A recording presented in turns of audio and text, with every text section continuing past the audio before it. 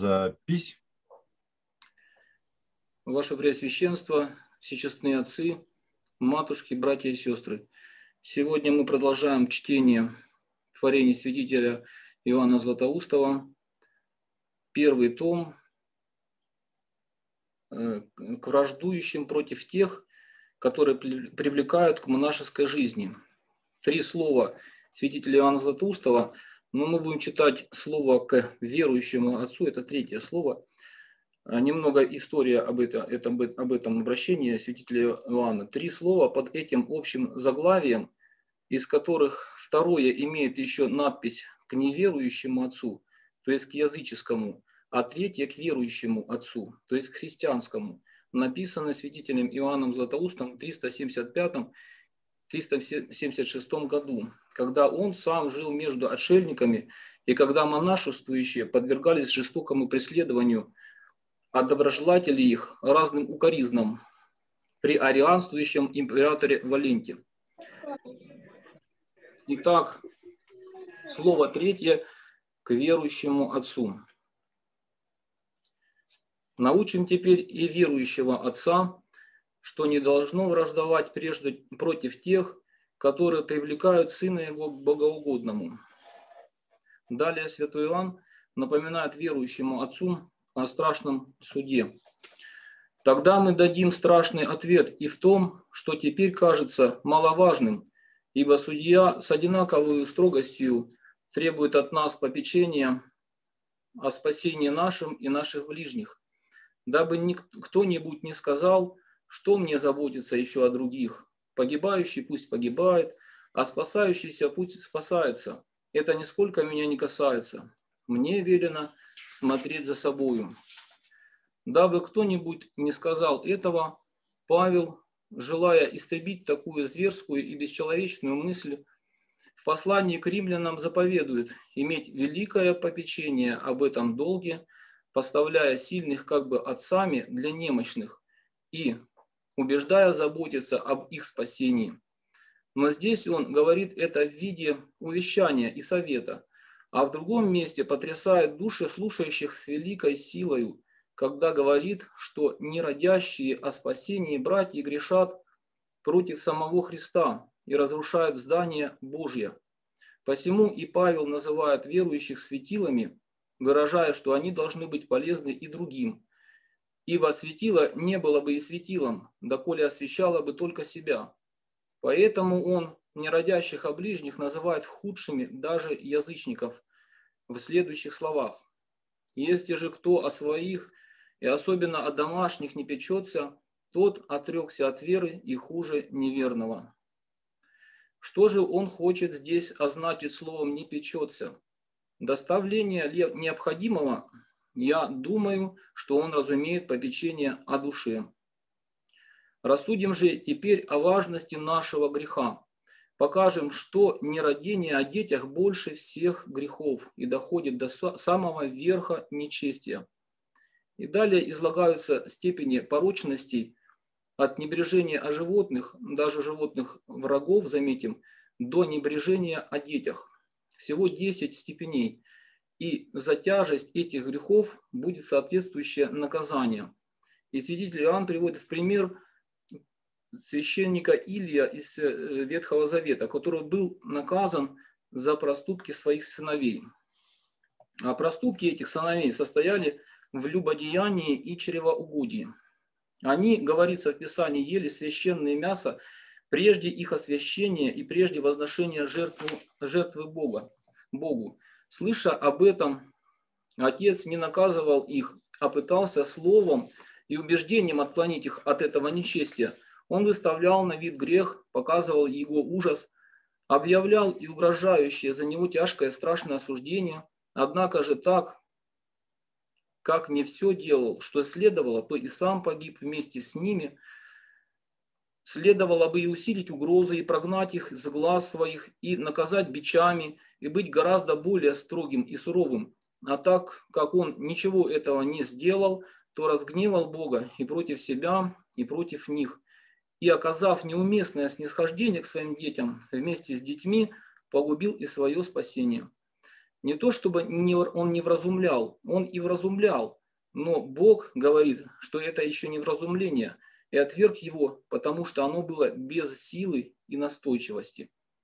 Так, если мы хотя печемся о детях, но не столько, сколько нужно, то и наше попечение не есть попечение, как Ильева вразумление. Если же и священника, престарелого, знаменитого, 20 лет безукоризненного, э, безукоризненно начальствовавшего над еврейским народом, жившего во времена, не требовавшие великой строгости, ни одно из этих обстоятельств не могло извинить, но он погиб ужасно и бедственно за то, что не заботился о детях с полным вниманием, то какое осуждение постигнет нас, которые живем во времена, требующие гораздо большего любомудрия, но не имеем и его добродетели. Бог говорит не одному Илью, но через него его страдания всем, подобно ему согрешающим, Бог нелицеприятен, и если он так истребил совсем домом менее виновного, то не оставит без наказания совершивших более тяжкие прегрешения.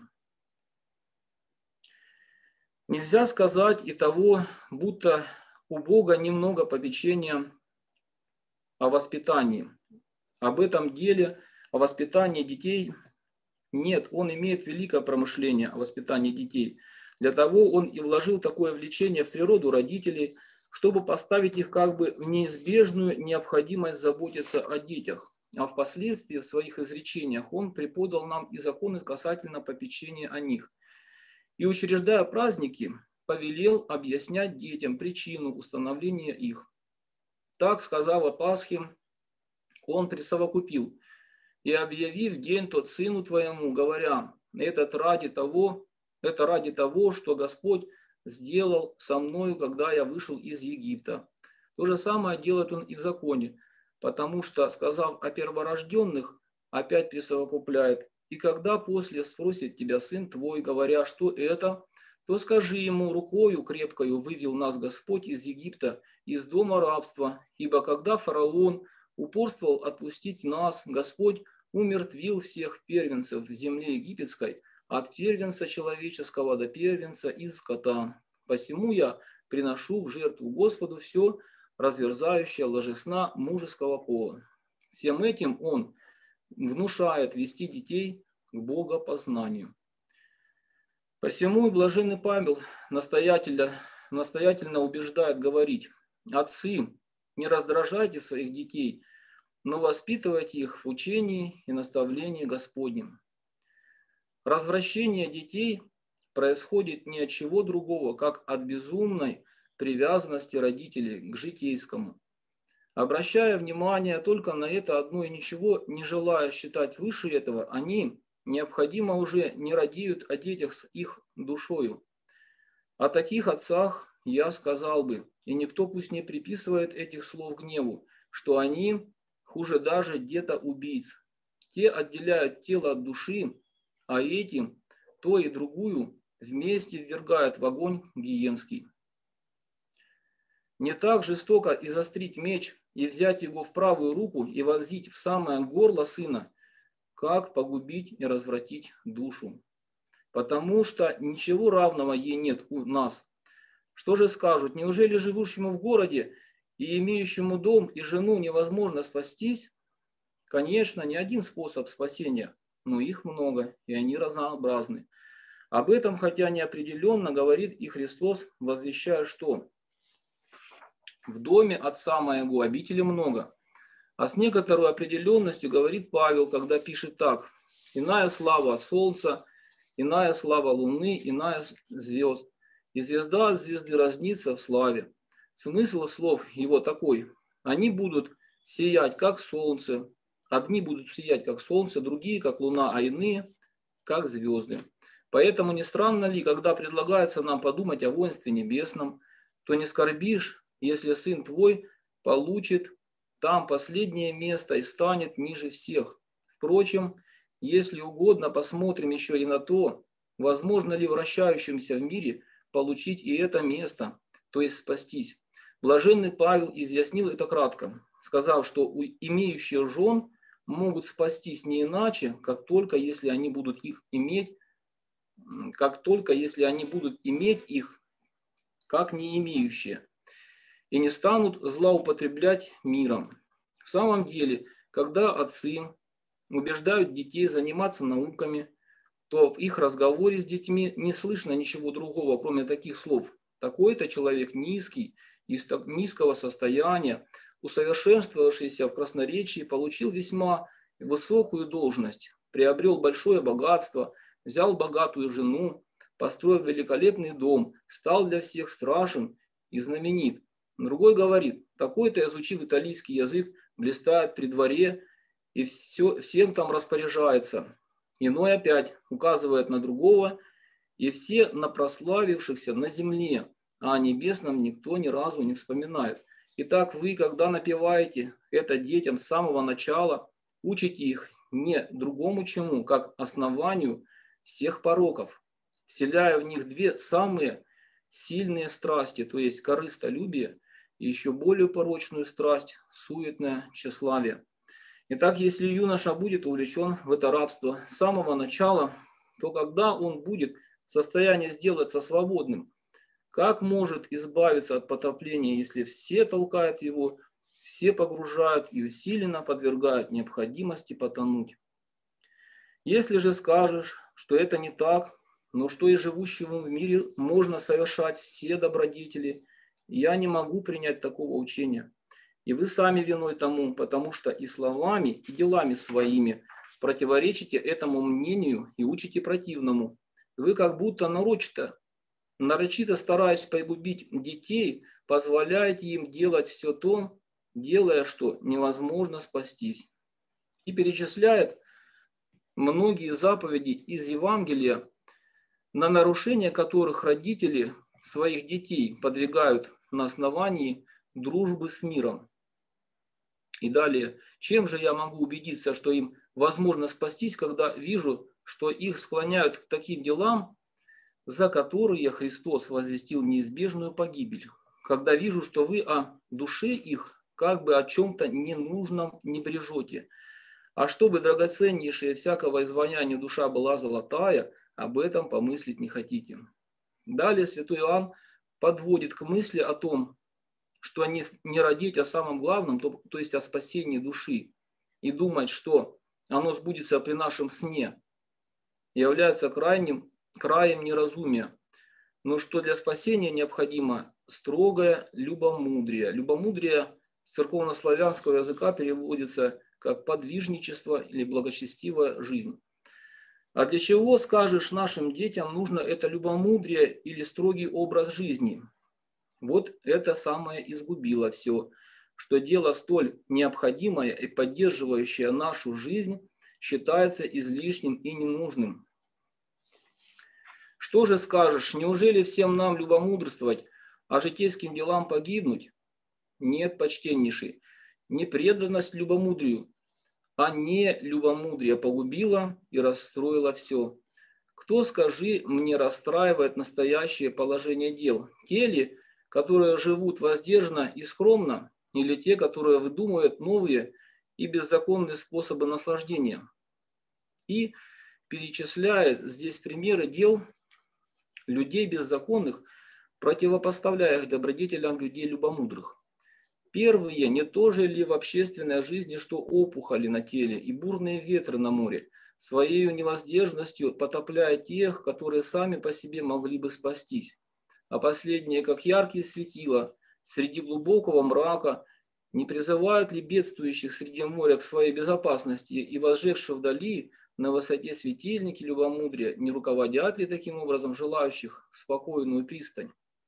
Не от первых ли возмущения и войны, и ссоры, и разрушения городов, и угнетения, и порабощения, и пленения, и убийства, и бесчисленные бедствия в жизни, не только наносимые людям от людей, но и все посылаемые с неба, как то засухи и наводнения, и землетрясения, и разрушение, потопление городов, и голода, и язвы, и все прочее, что свыше насылается на нас. Так они извращают общественную жизнь и губят общее благо. И святой Иоанн противопоставляя жизни в миру, жизнь монастырей, говорит, ничего такого нельзя видеть в монастырях. Но хотя бы в мире поднялась буря, отшельники одни сидят в пристани, в спокойствии и великой безопасности, как бы с неба, взирая на кораблекрушение других, потому что они избрали образ жизни, достойный неба, и пребывают в нем не хуже ангелов. Как между ангелами нет никакого нестроения, нет того, чтобы одни благоденствовали, а другие терпели крайние бедствия, но все одинаково наслаждаются миром, радостью и славой. Так и здесь, то есть в монастырях никто не жалуется на бедность, никто не превозносится богатством. Это твое, а это мое. Такое разделение, извращающее и смущающее все дела, изгнано отсюда. Так и у нас. Как пошли бы дела, если бы все мы стали подражать им? Пусть говорят, дети прежде займутся науками и, усовершенствовавшись в красноречии, потом уже и переходят к этому любомудрию. Тогда никто бы не препятствовал.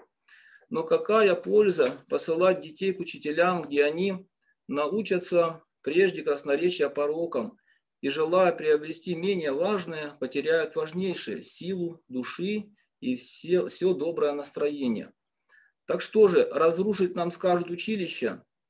Я не говорю этого, но говорю о том, как бы нам не разрушить здание добродетелей и не заглушить живой души.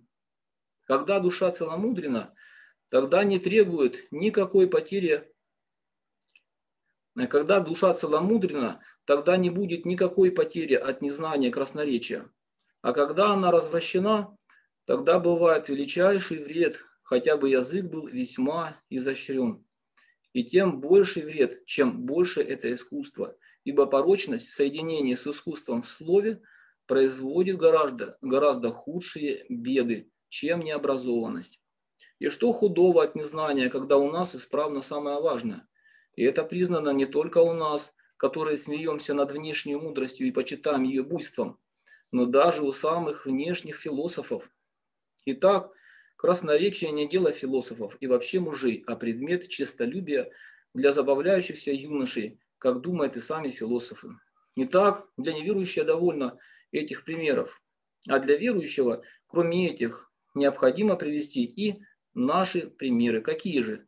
Тех великих и святых мужей, из которых у первых не было грамотности, у последующих была грамотность, но еще не было искусства красноречия, а у позднейших была и грамотность, и искусство красноречия.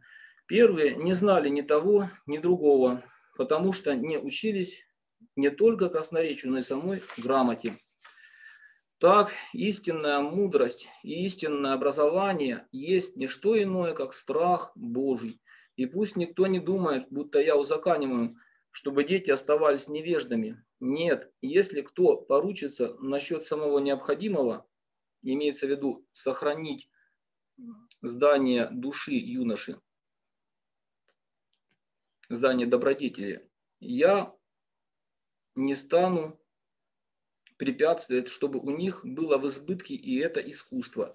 Но нет никого, кто бы обещал это и сделал. А если нет, то было бы безмерной жестокостью оставить того, кто не может защищать самого себя, но лежит пораженный бесчисленными ранами и на других наводит уныние. Но так как многие из отцов настоятельно желают видеть каждого своего сына, занимающимся красноречием, то мы не станем спорить. Но пусть будет нам предложены на выбор два дела. Или пусть сын, посещая училище, старается изучать науки, или пусть в пустыне печется о душе. В чем лучше скажи мне успевать? И далее святитель Иоанн Златоуст показывает превосходство иноческой жизни над мирской, и что в ней гораздо лучше достигнуть успеха, чем совершенство в красноречии, живя мирской жизнью. И показав это, превосходство приводит к мысли о насущных вопросах, где и кому удобнее или легче спастись, в миру или в монастыре. И какое различие между мирянами и монахами. Между тем, сам же ты прежде говорил, что же разве живущему в городе и имеющему дом нельзя спастись? Если и живущий в городе мог бы спастись, как ты говоришь, что гораздо более удалившийся в пустыню. Но скажет кто-нибудь, не одно и то же, погрешит ли мирянин или навсегда посвятивший себя Богу, то есть монах. Так как не с одной высоты падают они, то и раны у них не одинаковые. Ты очень заблуждаешься и обманываешься, если думаешь, что иное требуется от мирянина, а другое от монаха. Разность между ними в том, что один вступает в брак, а другой нет. Во всем же прочем они подлежат одинаковой ответственности. Так гневающийся на брата своего напрасно, будет ли он мирянин или монах, одинаково оскорбляет Бога, и взирающий на женщину с вожделением, будет ли от тем или другим, одинаково будет наказан за это прелюбодеяние. И еще сказав, горе вам, смеющимся ныне, не прибавил монахам, но вообще всем положил это правило. Так он поступил и во всех прочих великих и дивных повелениях. Павел же в послании, обращаясь к людям, имеющим жен и воспитывающим детей, требует от них всей строгости жизни, свойственной монахам.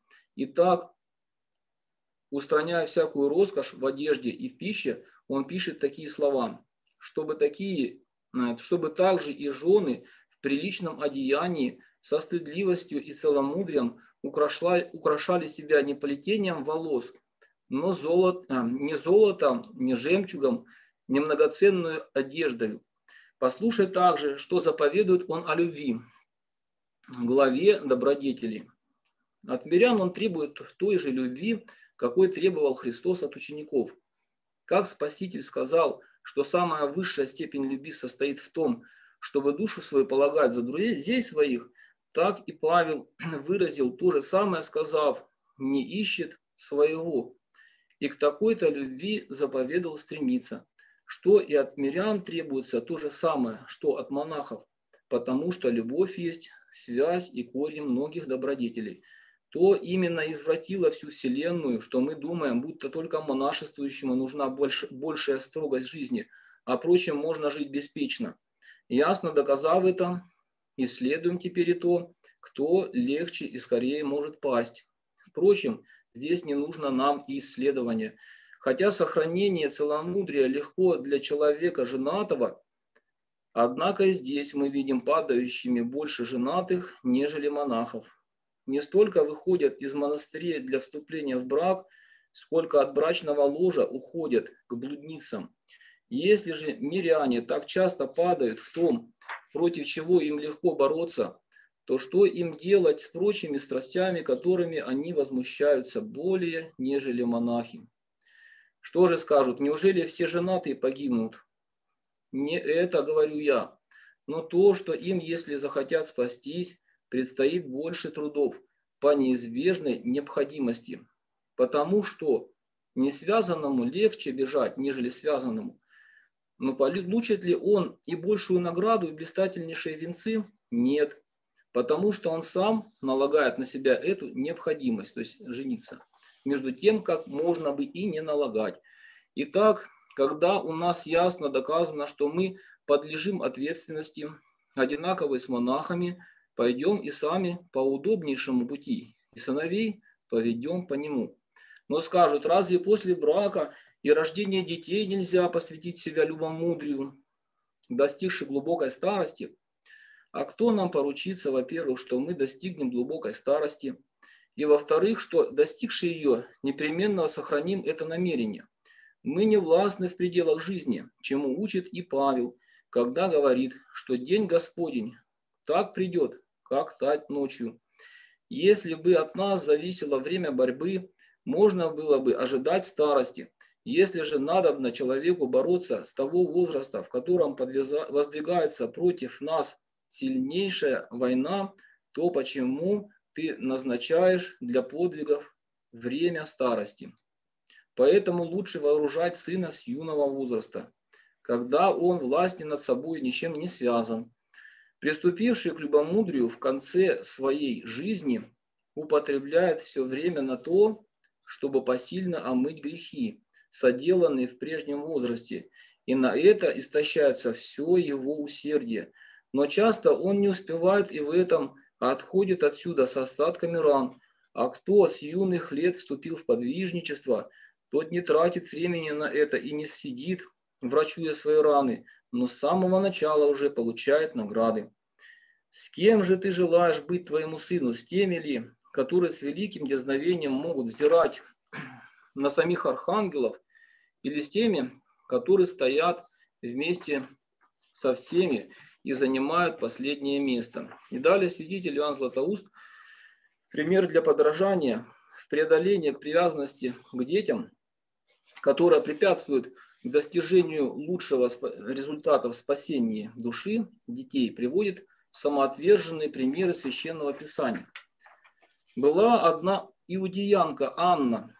Эта Анна родила одного сына и не надеялась иметь другого. Речь идет о пророчице Анны и пророке Самуиле. Потому что и того едва получила после многих слез, так как была бесплодна. Она, получив этого сына, держала его при себе только до толи, пока нужно было питать его молоком. А как скоро он уже не стал нуждаться в этой пище, она, взяв его, немедленно посвятила Богу, и он жил постоянно в храме Божьем. Оттого юноша сделался столь доблестным и великим, что когда Бог отвратился от народа еврейского за распространявшееся в нем нечестие, свою добродетелью опять преклонил и умолил даровать иудеям то же, что и прежде, и возвратил отлетевший дар пророчества. Так полезно всегда отдавать свои стяжания Богу и отказываться от всего не только от денег и имени, но и от самых детей. Если нам велено поступать так с душой своею, тем более со всем прочим. Так поступил и патриарх Авраам, если лучше сказать, гораздо выше. Зато и получил обратно сына с большей славой. Отпустим же детей служить Богу, вводя их не в храм, как Самуила, но в самое небо, вместе с ангелами и архангелами. Они будут предстательствовать с великим дерзновением не только за себя самих, но и за нас, и за вас. Ибо если некоторые получали от Бога некоторую милость за отцов, тем более отцы получат за детей, потому что воспитание важнее природы. И Иова Писание прославило как за то, что он был непорочен, справедлив и богобоязнен и удалялся от зла, так и за попечение о детях. А оно состояло в чем? Послушай, что говорит Писание. Когда круг пиршественных дней совершался, Иов посылал за ними и очищал их, и, вставая рано утром, возносил все сожжения по числу всех их. Ибо говорил Иов, может быть, сыновья мои согрешили и похулили Бога в сердце своем. Имел столь великое попечение о детях, что опасался и за тайные грехи их. Итак, имел столько, имея столько примеров, будем приготовлять Богу доблестных служителей и исполнителей. Будем же делать все, чтобы оставить им богатство благочестия. Действительно так, кто предпочитает земное духовному, тот лишится и того, и другого. А кто стремится к небесному, тот непременно получит и земное.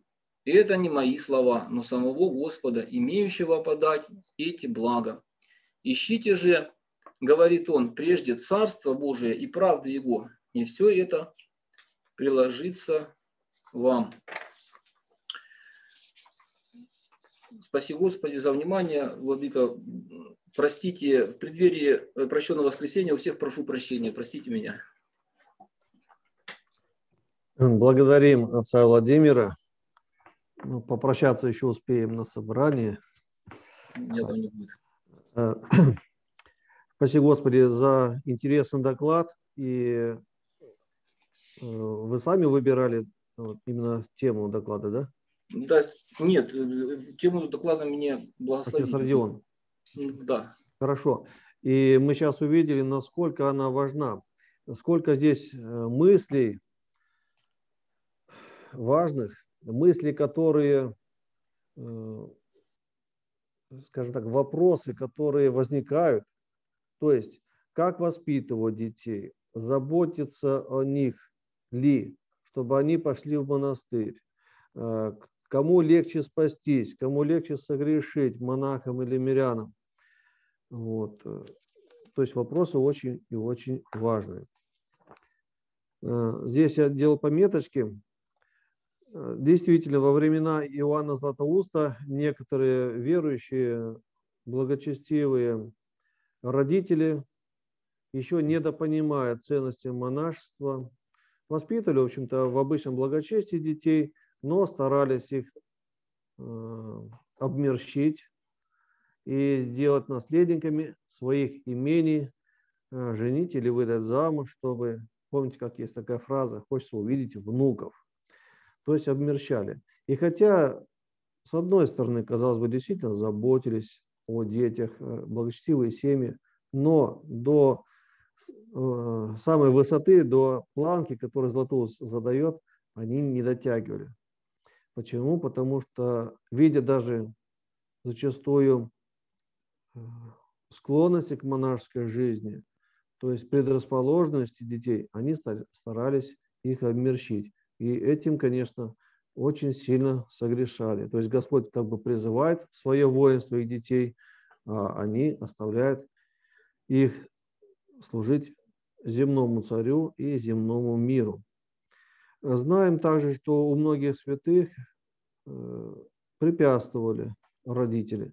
Скажем, мама преподобного Феодосия Печерского много раз его находила, когда он юноша убегал из дома, чтобы стать монахом.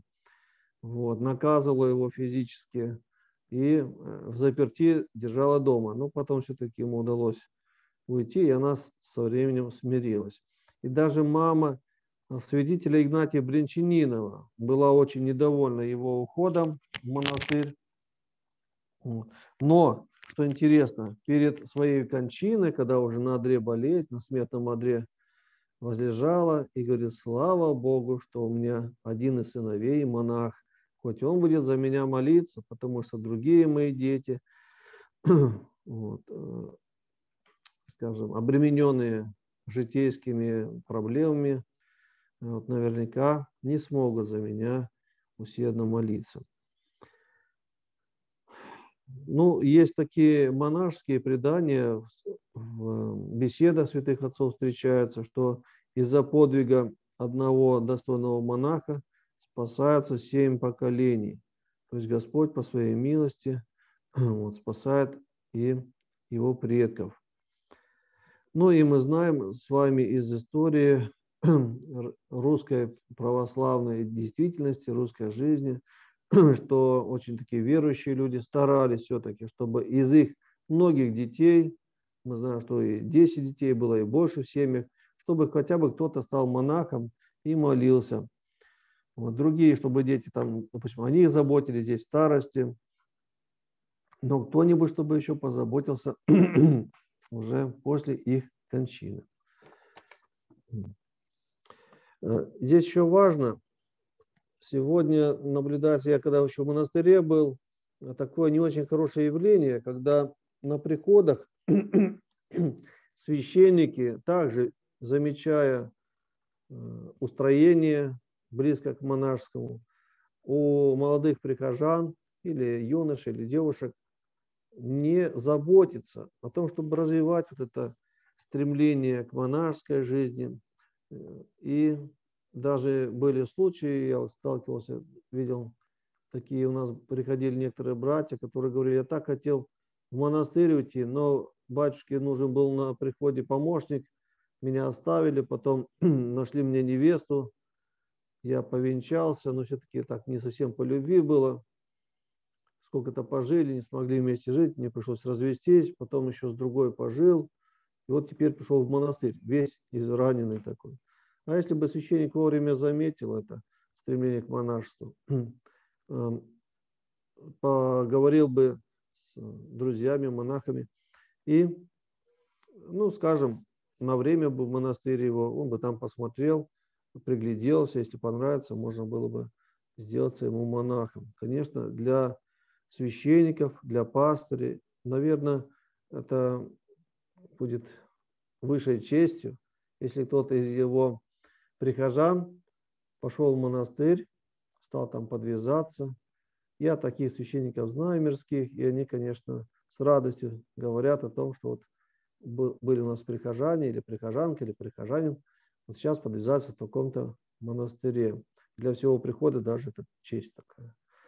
Ну и, конечно, большое, большая награда таким пастырям, которые талантливых в этом отношении молодых прихожан э, готовят к этому высшему подвигу. Вот. Но ну, я думаю, для того, чтобы так-то видно среди молодых прихожан, у кого есть склонность к этому, ну и надо, скажем, нашим, э, в нашей епархии есть женский монастырь, есть мужской монастырь, можно посоветоваться с э, настоятельницей, с настоятелем.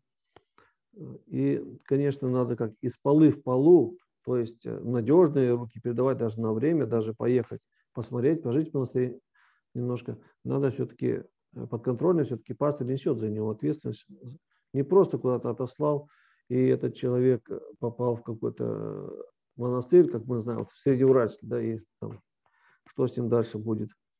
То есть очень ответственно сопроводить его сначала на время, а потом, если понравится, и Бог даст, и на постоянно монастырь. Это очень... И в любом случае отправлять ли в монастырь или оставлять на приходе, чтобы высшим, как сказать, высшей целью для нас было спасение этого человека. Не так, что, ну, мне нужен кочегар, вот я тебе оставлю, вот, или мне нужен там э, певец, а ты хорошо поешь, вот я сейчас жену найдем, невесту, вот и здесь, чтобы остался на приходе. Конечно, нужно, даже если нам не хочется, чтобы человек покидал приход, но если мы видим хорошие задатки, то надо поспособствовать. Вот. Для того, чтобы воспитывать э, правильно, ну, касательно юноши, скажем, отроков, то здесь пастырям, нашим священникам, в самом алтаре нужно создать очень благовейную духовную обстановку, ее поддерживать, чтобы не было празднословия, чтобы было благоговение, э, сами священники, чтобы диаконы очень были благовейны, для того, чтобы было возможно э, завести в алтарь допустим, отроков, и чтобы они учились благовению, э, благовейному служению, молитве. Но я думаю, что если это многоштатный приход, то надо, чтобы кто-то отвечал за отроков. Не просто настоятель или священник, там, диакон, и отроки пришли сами по себе. Надо обязательно назначать им наставника. Или это диакон, или это священник, или это может быть старший паномарь благочестивый. То есть наставник должен быть, конечно. Э, дальше фразу привел отец Владимир из послания апостола Павла. Время приближается к конца этого века, так что, чтобы, давайте, говорит, имеющие жен, чтобы были как не имеющие, э, покупающие что-то, как ничего не приобретающие. И, конечно, для некоторых загадка в этих словах, но мне очень понравилось пояснение этих слов у святого праведного Иоанна Кронштадтского. Я сейчас зачитаю прям. Он говорит так. «Имеешь ты жену, живи с нею в любви и согласии, но не привязывайся к ней всей душой своей до забвения Бога и той жизни, в которой не женится, не посягают, то есть не выходит замуж. Не делай ее целью твоей жизни, и преимущественным предметом твоих забот. Имеющие жен должны быть как не имеющие. Ну и подобно тому, э, покупающий как ничего не приобретающий. Тоже говорит, если ты купец, торгуй, продавай, но не делай своей торговли целью твоей жизни. Э, что важно здесь отметить, э, некоторые жены могут обидеться на мужа. Ну как, я должна быть светом твоих очей, ты меня должен всем сердцем любить, всей душою. И это уже не христианское понятие. Надо а, объяснить, что всем сердцем, всей душой, всей мысли, всей крепостью своей мы оба должны любить нашего Бога, Создателя и Спасителя. Вот. А, э, конечно, нужно любить и супругу свою, и взаимность должна быть, но э, это называется любить во Христе. То есть с точки зрения вечности. Как ее Христос любит, также любить нужно и свою половинку. Причем, если любить неправильно, как вот Иоанн Кронштадтский, до, до забвения Бога и той жизни, которая последует за гробом, то представьте, это вред будет и самой этой жене. Когда муж должен быть главой семейства, соединять все семейство с Богом, своим благочестием, молитвой, заботой, воспитанием жены и детей, а он вдруг станет поклонником жены. Вместо того, чтобы к Богу обращаться и от Бога получать благодать и даровать жене и детишкам, он обращается полностью к жене, вот, теряет связь с Богом, и из-за этого вся семья деградирует. Вот есть такое понятие, там подкаблучник, допустим, э, человек, значит, слабый, значит, э, получается, вся семья, вот, все вверх дном в семье. Иерархия неправильно выстроена. Соответственно, страдает в том числе и та же жена, которая, она хотя захватила власть, вроде радоваться надо, она видит, что все деградирует. Так вот, и это касается, что важно, и сейчас я где-то с болью об этом говорю, бывает вот юноша э, благочестиво живет, живет, потом раз в кого-то влюбился, все, это предмет его страсти, это идол, и человек все теряет, вот лишь бы быть рядом с ней. И это не принесет пользы ни ему, ни этой избраннице. Только один вред будет. Так.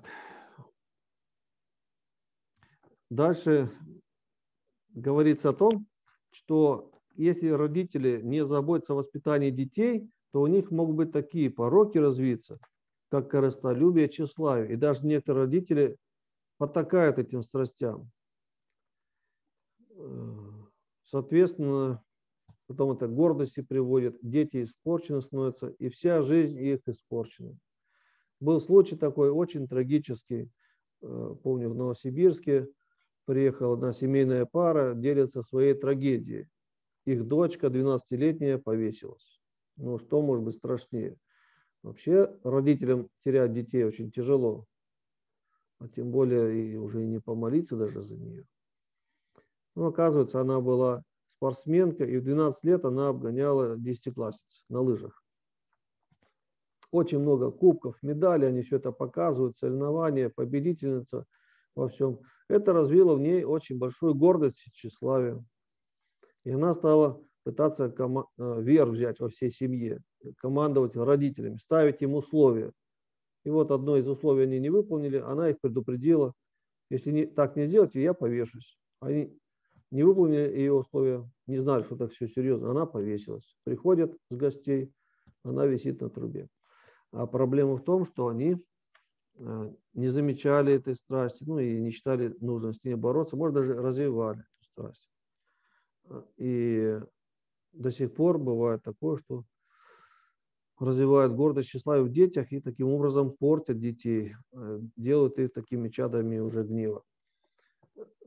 Противоположность этому, если почитать, как мама воспитывала Паисия Святогорца, будущего, вот. Он пришел, говорит, я пришел, плачу, мама, меня дети не берут в футбол играть, потому что я голы умею забивать хорошо, и меня говорит, выталкивают из э, команды. А мама ему говорит, сынок, у нас есть мячик, двор большой, гоняй этот мячик. А то, что ты хочешь гол забить, в этом есть гордость и не позволял сыночку играть даже в футбол. И вот такой смиренный вырос сыночек. Так.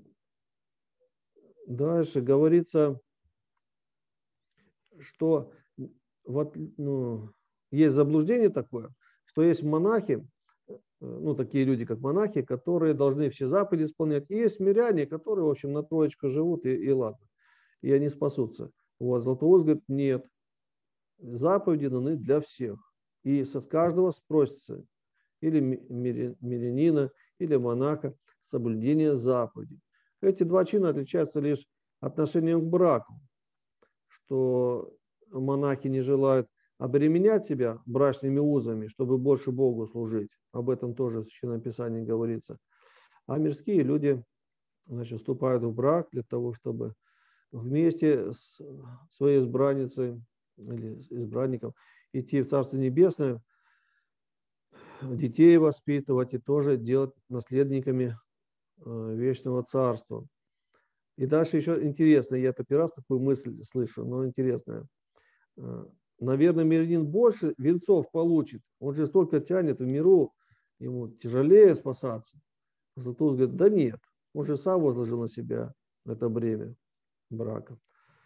Вот. Интересная мысль такая. Но также, скажем, преподобный старец Паисий Святогорец говорит, что хороший семенин был бы и хорошим монахом. И наоборот, хороший монах стал бы отличным семенином, если бы изначально избрал другой путь, потому что основа подвига и семейного, и монашества – это э, любовь, жертвенная любовь. Это поэтому и там, и там может, может хороший человек себя правильно проявить. Вот. Ну, теперь э, вопрос в зал. Может, докладчик ответит. Как переводится любомудрие на греческий язык? Отец Владимир. Микрофон включите, вообще будет хорошо.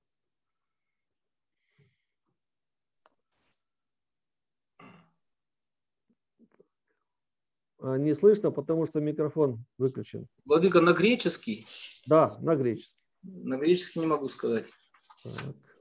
Магистр богословия есть у нас Самохин, отец Дмитрий?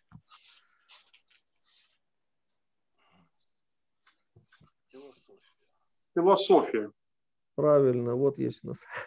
Философия. Любовь, ну, фило... Э, София, мудрость, философия. Так, теперь э, отцу Алексею тогда вопрос. Как переводится? Ну, раз вызвался. Ну, вопрос он несложный, такой же примерно уровня. Как переводится на греческий человеколюбец? Антрополог или антропофил. Филумен. А если так сделать? Филантроп. Филантроп. Совершенно верно. Ну вот, сегодняшняя викторина подошла к концу. Один, один, значит, ничья.